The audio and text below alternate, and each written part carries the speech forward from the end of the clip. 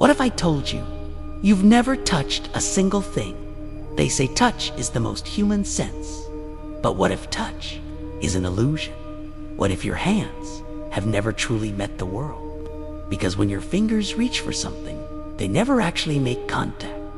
Atoms push atoms away. Forces push forces apart. And what you call touch is nothing more than electromagnetic resistance. A gentle lie. Your brain tells your soul. You've lived your entire life without ever touching anything. Not a person, not the ground, not even your own skin.